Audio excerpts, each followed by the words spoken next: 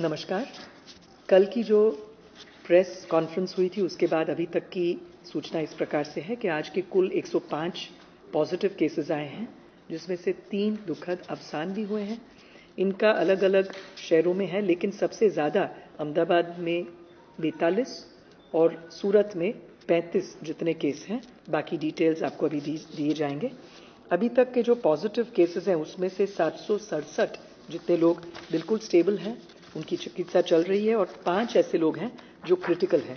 आज खास एक बात कहनी थी कि हमारे यहाँ अभी तक 20,204 जितने टेस्ट बहुत ही बड़ी पैमाने पर बड़ी मात्रा में हम लोगों ने की है। और इसमें भी देखा जाए तो गुजरात में जिसे हम कहते हैं टेस्ट पर मिलियन यानी दर 10 लाख की आबादी में कितने टेस्टिंग किया तो हमने दो सौ सड़सठ जितने किए हैं जो ऑल इंडिया एवरेज से भी ज़्यादा है। वहाँ पर 177 है तो गुजरात में टेस्टिंग का प्रमाण भी बढ़ा है। और आज एक दूसरी बहुत महत्वपूर्ण बात यह है कि हमारी ही एक स्टेट गवर्नमेंट की संस्था है, जिसे हम गुजरात बायोटेक्नोलॉजी रिसर्च सेंटर कहते हैं जी बी आर सी और इसके अंदर एक बहुत अच्छा उन्होंने जो चाइना में इसके लिए रिसर्च पहले हो रहा था, लेकिन पूरा जो कोरोना वायरस जो है, उसका जीनोम सीक्वेंसिंग ये एक बहुत महत्वपूर्ण काम उन्होंने हाथ पर लिया था।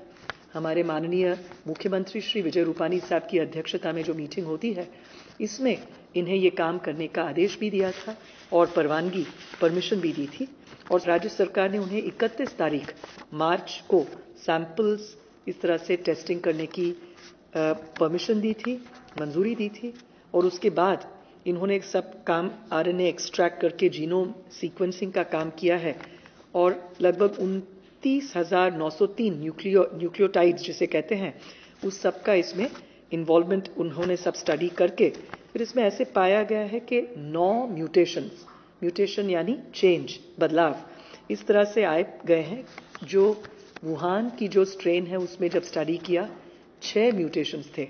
तो तीन ऐसे नए नॉवल म्यूटेशंस भी अपने यहाँ जो वायरस है अभी, उसमें पाए गए हैं। ये क्यों हमारे लिए बहुत बहुत बहुत महत्वपूर्ण है? इसलिए कि इससे हमें इस पूरी वायरस की ओरिजिन मूल ये कहाँ से आई है? और इसी तरह से इसकी विरुलेंस यानी कि इसकी बिल्कुल प्रकोप जो है, कितनी विरुलेंस है? और इसके कोई वैक्सीन यानी कि हम कहते हैं रसी, रसीकरण अगर डेवलप करना है, या कोई इसके लिए दवाई, इसके संक्रमण को रोकने के लिए, या चिकित्सा के लिए कोई दवाई। इन सभी चीज़ों के लिए ये जो अनुसंधान है, रिसर्च है, बहुत मायने रखता है।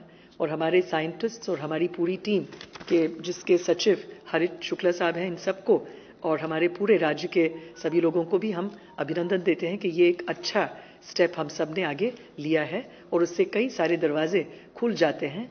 और आशा है कि इंडिया में और ख़ास गुजरात में इस वायरस के लिए कुछ हमें एक नक्कर सोल्यूशन भी मिल पाए। नमस्कार।